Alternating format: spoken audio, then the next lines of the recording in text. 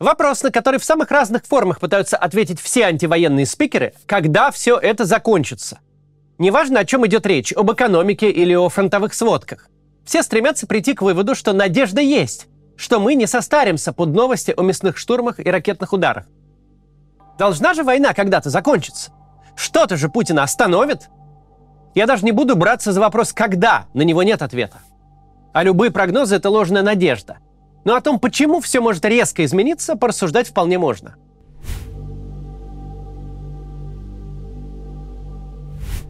Для предметного разговора нужно разделить эту тему на три части – военную, политическую и экономическую. Войну невозможно вести, если некому и нечем воевать, если утрачен политический контроль и если нет денег. Обрушение любой из этих трех опор войну закончит, но каждую нужно рассматривать отдельно – Финансовую часть мы разбирали в прошлом ролике, и вывод там простой. Поводов надеяться на банкротство войны пока нет, денег на нее хватает. С военной составляющей главная проблема заключается в отсутствии данных, которым можно доверять и на которые можно ориентироваться. Фронтовые потери и найм новых солдат, потери в технике и ее производства, расходы поставки боеприпасов – это все совершенно умозрительные цифры, причем с обеих сторон – даже у самых ответственных аналитиков цифры эти отличаются не на проценты, не на десятки процентов, а в разы, что делает их наглухо непригодными для анализа. Сколько погибло, например, военных с российской стороны? Благодаря усилиям BBC и медиазоны мы знаем, что не менее 50 тысяч. Но что это за параметр такой «не менее»? Это половина, четверть, треть от всех потерь. Мы не знаем. И авторы добросовестно признаются, что тоже не знают. Они говорят, мы насчитали в публичном доступе более 50 тысяч некрологов. В каковые, видимо, попали почти все погибшие военные летчики и другие офицеры, элита армии, у которых есть друзья и семьи, о которых есть кому написать. А вот зэки, которые всю жизнь чалились по зонам, о ком некому вообще вспомнить и черкнуть строку ВКонтакте, наверняка в эту статистику попали в куда меньшем количестве. С такими исходными данными любые формулы пересчета не анализ, а упражнение – для того, кто пересчитывает. И уж тем более для анализа не годятся сообщения украинской стороны, отчеты западных разведок и материалы ведущих западных СМИ. Слишком разные там цифры. И на чем они основаны, совершенно непонятно. Учитывая повальное очковтирательство на всех этажах российской власти и пестрый контингент войск, набранный на разных условиях, сомнительно, что вообще есть хоть кто-то, способный оценить потери с пригодной для разговора точностью. То же касается и пополнения личного состава. Во время осенней мобилизации 22 года у нас была официальная цифра, что призовут 300 тысяч человек. Был ли план на самом деле таким? Его выполнили или, может, перевыполнили, или, наоборот, недовыполнили? Ничего этого не известно. Медиазона, изучив аномалию в регистрации браков, считает, что по мобилизации забрали под полмиллиона человек. Некоторые аналитики говорят, что крупнейшие регионы план провалили и никакими тремя сотнями там не пахнет. То есть 21 сентября нам сказали, хотим 300 тысяч. Спустя три недели отчитались, 300 тысяч успешно найдены. Но оснований верить ни одному, ни второму у нас нет. Считается, что прошлый год был очень успешным в плане поиска добровольцев. Проблему рекрутинга скинули на регионы, и регионы вроде как справляются. Или не справляются. Были сообщения с мест, что вместе с ростом выплат росли очереди у военкоматов. Были утечки, что среднее по регионам выполнение плана не превышает 50%, а скорее ближе к 40%. Как на основании этих противоречивых сообщений составить цельную картину, непонятно. Как в России обстоят дела с производством боеприпасов? С одной стороны, промышленность вроде как встала на военные рельсы и штампует по 2 миллиона снарядов в год, больше, чем Европа и США вместе взятые. С другой стороны, через всю страну на кривой козе тащат из Северной Кореи снаряды непонятного качества, возраста и условий хранения – Оба этих факта общепризнаны, и каждый дает противоположную другому картину состояния ВПК. В нулевые годы возник омерзительный по своей сути термин «информационная война». Мне он не нравится, потому что обеляет пропаганду. Ведь главное оружие информационной войны – вранье. Типа врут все, просто мы должны переврать врагов. Такой подход. Нынешняя война идет на самом деле, в ней гибнут настоящие люди. И при этом она по-настоящему информационная – в зависимости от источника информации у вас будет совершенно разное представление о положении дел. И не только потому, что вам намеренно врут. Сами спикеры находятся в плену тех же иллюзий и настроений, что и публика. Но уж и те, кто пишут заголовки, и подавно. Будем честны, С осени 22 года, с удачного контрнаступления Украины в Харьковской области и сдачи Херсона, на фронте ничего особенно не изменилось. Россия страшной кровью взяла Бахмут и Авдеевку. Украина страшной кровью чуть-чуть поджала фронт на юге. Но как бы обидно это ни звучало, главный арбитр на этой войне – колесико мышки. Дважды прокручиваешь масштаб карты, и все, последних полутора лет на фронте как не было. Ничего не изменилось. Все воюют плюс-минус как воевали – захватывая руины поселка ценой большего количества жизней, чем было в нем до военного населения. Вот только отношение изменилось. Те же эксперты, что год назад описывали российскую армию как беспризорников с лопатами, теперь ждут взятия Харькова. Армия, которая год назад должна была обвалиться под украинским контрнаступлением, теперь, оказывается, может захватить миллионный город. То есть провести операцию такого масштаба, какой не было с начала войны. Почти 3000 потерянных танков и сотню сбитых самолетов назад – это не означает, что эксперты плохие или специально нам врут. Вашингтон-Пост и Блумберг плохих не берут. Надо думать, те люди, которые пишут там колонки, даже с похмелья по трем пикселям отличат две модификации одного танка. Просто они не волшебники. Они живут в том же потоке информации, что и мы, и предпосылки у них те же. Отличие в том, что они могут этот поток профессионально описать. На этом я предлагаю параметр «война» вовсе исключить из любых рассуждений о будущем. Ведь можно обоснованно, опираясь на авторитетные источники, сказать, что солдат в российскую армию вступает столько, что девать их некуда. А потом выйдет очередной губернатор с очередным повышением выплат за подписание контракта, чтобы хоть кто-то пришел. А следом новость о поиске рекрутов из Индии, Непала и даже с Кубы. И понимай, как знаешь, что там на самом деле творится.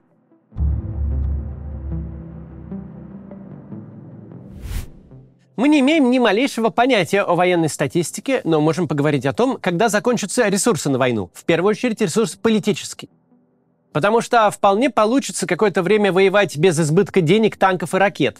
А вот если утрачены контроль и легитимность, если приказы никто не выполняет, много не навоюешь.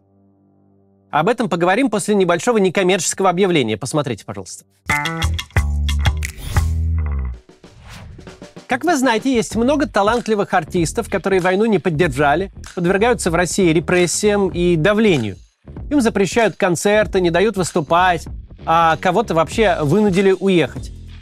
В результате их позиции и всех этих запретов и давления аудитория, которая может прийти на их выступление, резко сузилась, а затраты на проведение и организацию концертов выросли, ведь нужно далеко ездить.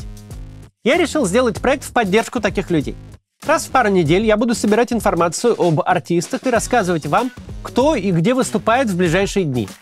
Мы сделали страничку на моем сайте с афишей. Пользуйтесь. Что будет в ближайшее время? 17 апреля Земфира в Майами, а в конце месяца в Лос-Анджелесе и Марбелье. Noise MC будет в Остине 14 апреля, а еще скоро он будет в Денвере и Ванкувере, а потом в Европе. Несколько комиков, подписавших письмо Путину с призывом остановить войну, в ближайшие дни выступают в разных городах.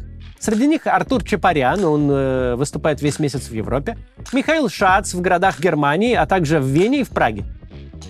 Если вы в Австрии, то сможете послушать Касту, а в Париже скоро новый спектакль Дмитрия Назарова. А если вы находитесь в Канаде, то приходите на вечер с Леонидом Парфеновым. Объявление это не коммерческое, мы составляем список сами – если есть возможность, обязательно поддержите российских артистов и приходите к ним на выступления. Ну и хорошо проведете время, конечно. Обычно у них хорошие выступления, концерты и шоу. Ссылка на подборку будет в описании.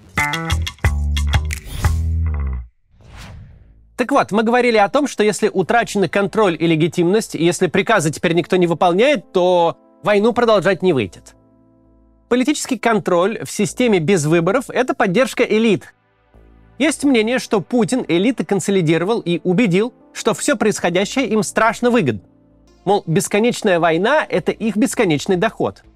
Но давайте взглянем на ситуацию в целом. Элиты вокруг Путина многое потеряли за последние два года. Рухнул их привычный образ жизни, заключавшийся в освоении России вахтовым методом. Чтобы в Сургуте отжимать завод, благо там судья работает по звонку генерала ФСБ, а полученную прибыль хранить в Лондоне. Ведь лондонскому судье не посмеет позвонить никто, ни генерал, ни премьер, ни королева. Олигархи брали лучшее от двух систем. Они всегда существовали как бы в двух лицах. В России выдавали министру 20 килограмм наличных долларов, парились в бане с прокурором и за рюмахой делили чужую шахту. В Европе играли в поло с графом и заседали в правлении фонда с Нобелевским лауреатом. Делая вид, будто тоже закончили Итон, а не вечернюю школу при колонии общего режима. Путин давал элитам не только деньги. Не так просто купить лояльность того, у кого уже есть 5 миллиардов, выдав ему еще миллиард. Путин обеспечивал им безопасность и статус. Нет никакой нужды задумываться о последствиях путинских решений, если ты с них только богатеешь. А в случае форс-мажора улетишь из России к семье, детям и будешь по субботам играть в сквош со столичным мэром той страны, в которую приехал. Путинская система напоминает казино с огромным выигрышем и огромными рисками. Махом можно озолотиться, а вторым махом уехать лет на 20 за полярный круг. Вот только друзья хозяина в этом казино всегда выигрывали. Либо крупье возвращал им ставку в крайнем случае. Худшим исходом было остаться при своих. С началом полномасштабного вторжения такая жизнь для элит закончилась. Дело же совершенно не в формальных санкциях. Против этого сегодня ввели, с того завтра снимут. Дело в том, что тот мир, где они строили будущее для себя и своих семей, отказал им в гарантиях. Никакого больше планирования на десятки лет и на поколение вперед. Нет никаких гарантий даже на завтрашний день. Те, кто планировал за деньги стать лордами, заняли другую придворную позицию родом из той же Англии. Они теперь мальчики для битья. Были когда-то при юных принцах такие спутники. Плохо ведет себя наследник, а тростью получает специально назначенный ему приятель. Тебя нет в санкционном списке? И что? Завтра Путин учудит новую кошмарную дичь, бюрократы в панике поищут кем набить новый пакет санкций, и в нем появится твоя фамилия. Это не тихая гавань, это жизнь, как у сурка на пастбище слонов. Сегодня не раздавили, и ладно.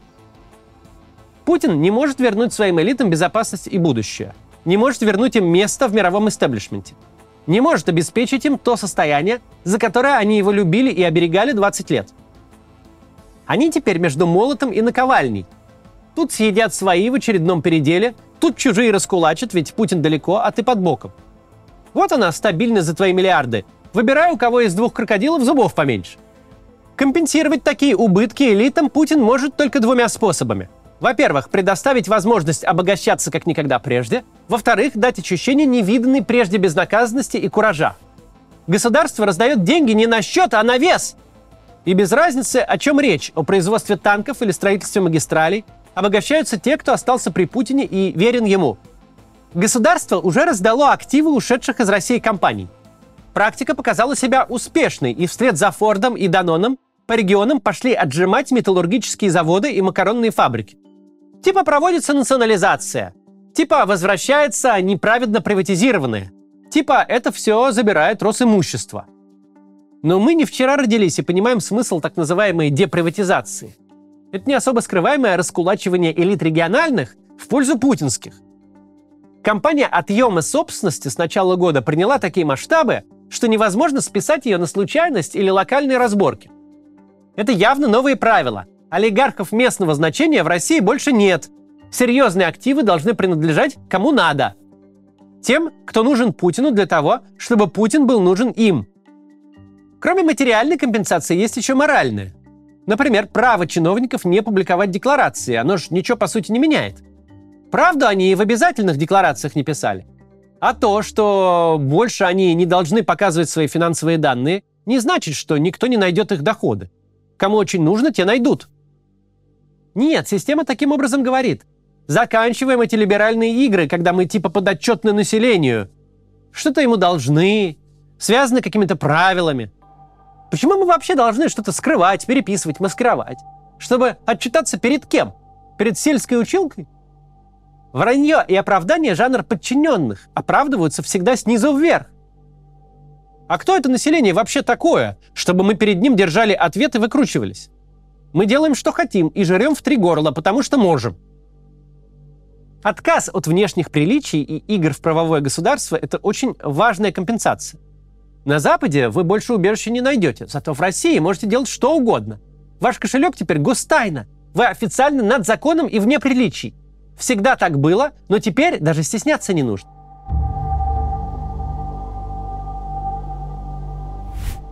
Достаточно ли дать сверхбогатым людям еще больше денег и привилегий, чтобы заново купить их лояльность? Смотря каким.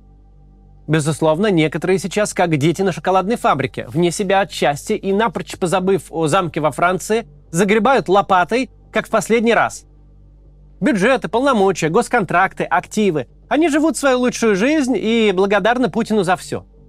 Ведь раньше отжать Макфу было долго и дорого, а теперь ее можно прибрать к рукам за несколько недель. Но есть и те, у кого остался разум. Они понимают, что эта вакханалия долго не продлится.